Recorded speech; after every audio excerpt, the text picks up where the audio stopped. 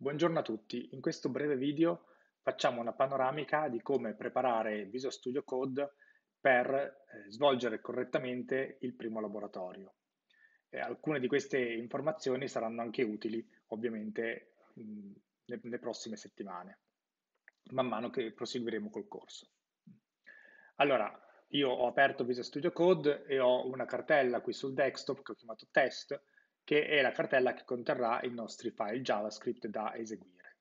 In particolare, nel nostro caso, noi vogliamo eh, in questa cartella test e all'interno di Visual Studio Code sviluppare un programma che legga da eh, linea di comando e quindi eh, modifichi un'impostazione di default di Visual Studio Code. Ma andiamo con ordine. Prima di tutto, eh, quello che dobbiamo fare è aprire una cartella. Quindi noi abbiamo questa cartella test, e Visual Studio Code di default non ha nessuna cartella aperta, noi possiamo o dal menu welcome o mh, cliccando su questa barra laterale eh, utilizzare il bottone apri cartella. Allo stesso modo possiamo anche utilizzare open dal menu file. Sono tutte funzioni equivalenti. Quindi apriamo una cartella e apriamo questa cartella che abbiamo chiamato test sul desktop. Aprendo la cartella, Visual Studio Code si ricarica e ci mostra qui il nome della cartella aperta, che ovviamente non ha alcun file. Al suo interno provvediamo a creare un nuovo file mm, con questo bottone, nuovo file, che possiamo chiamare eh, esercizio1.js. Questo creerà e aprirà ovviamente un file JavaScript.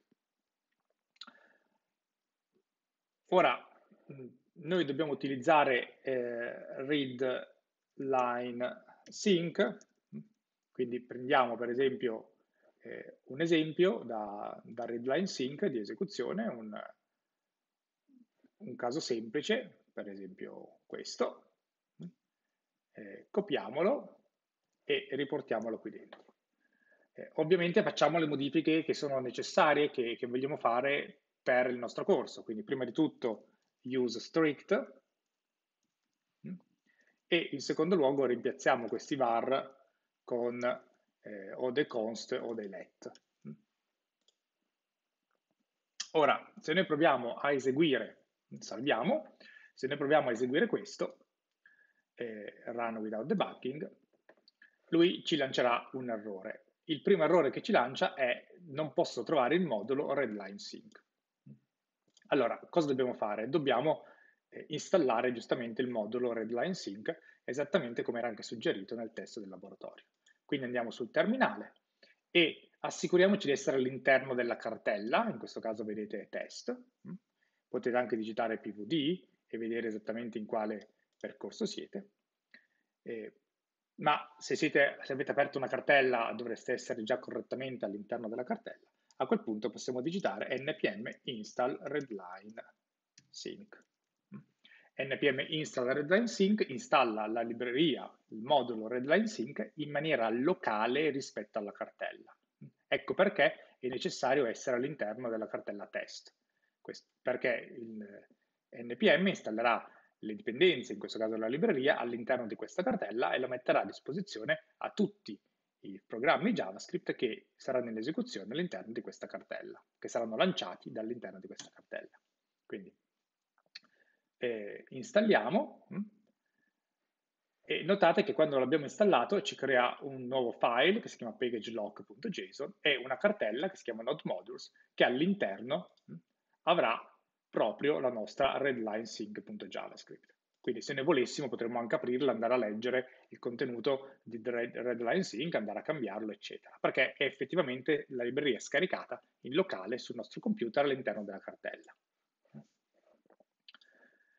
A questo punto abbiamo installato la dipendenza, questa dipendenza che adesso eh, qui andiamo a, a importare, a richiedere per il resto del programma, quindi possiamo riprovare a fare run senza debug.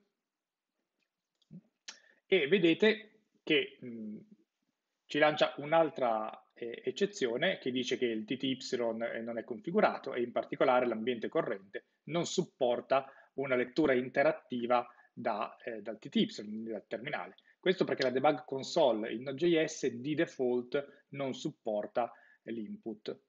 E, la debug console di Node.js ad avere questa limitazione, non è tanto Visual Studio Code. Lo stesso programma in WebStorm, se deve girare nella debug console, presenterà lo stesso problema. Come possiamo risolvere questo problema in Visual Studio Code? In Visual Studio Code, eh, oltre a... Eh, possiamo aprire il menu Run, mm, l'equivalente dal, dal menu Run che vedevamo in alto, e se ne facciamo di nuovo run and debug, esegue lo stesso codice in modalità debugging e quindi genera lo stesso, lo stesso problema. Quello che dobbiamo fare per ovviare a questo problema è dire a Visual Studio Code di non usare il debug, la debug console per eseguire il, il file, il programma, ma di usare il terminale. Allo stesso modo noi potremmo scrivere node as1.javascript, sempre facendo attenzione ad essere nella stessa cartella, e vedete che invece dal terminale il programma funziona correttamente.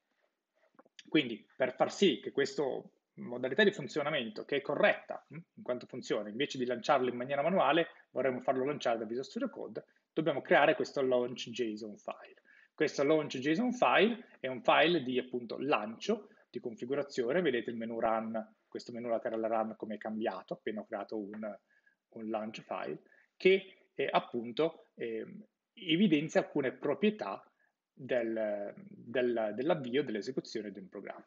In particolare per far funzionare il file da il programma non da debug console ma da terminale, dobbiamo aggiungere un eh, console, due punti, integrated terminal, separato da virgola. Quindi queste sono proprietà, coppie chiave valore, eh, che Visual Studio Code interpreta e quindi saprà e, vedete c'è anche un commento dove lanciare il debug target, che anche quando facciamo run senza debug, dove lo lancia? Lo lancia sul terminale integrato da Visual Studio Code, che è esattamente questo. un'altra modifica che possiamo fare è, eh, per esempio, qui invece di mettere as1.javascript, se noi pensiamo di eh, creare, più, eh, di voler lanciare più file con la stessa configurazione, possiamo invece di s1.javascript eh, scrivere mm, dollaro mm, file. Questo vuol dire che questo, questa launch configuration si applicherà a qualunque file che sia eseguibile eh, da Visual Studio Code all'interno della nostra cartella test. Mm, salviamo, chiudiamo e dal menu run facciamo run without debugging.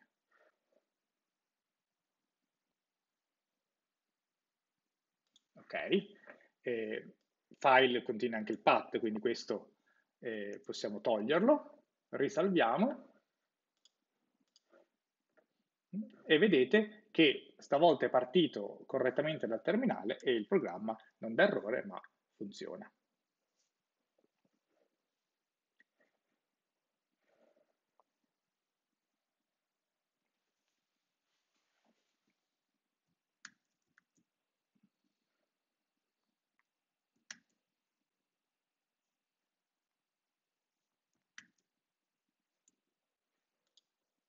oh